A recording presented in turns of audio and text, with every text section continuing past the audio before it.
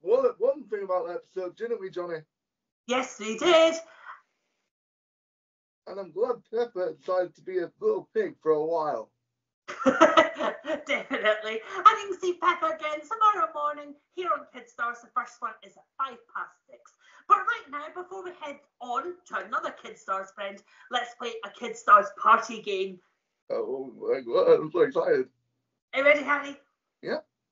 Okay, we're going to play a game and you can play along at home as well, Sunshines. Today we're going to play Johnny Says. So Okay. I am going to say an action and you have to do it, but only when Johnny says.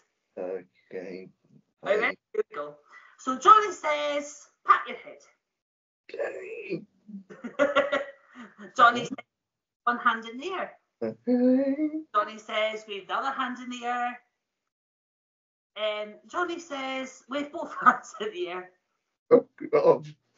and smile. Oh, well done, Harry. Good. Well done, as well. Oh my god. Right. I think, I think it's time we invite some more Kid Stars friends. it's time for the next step.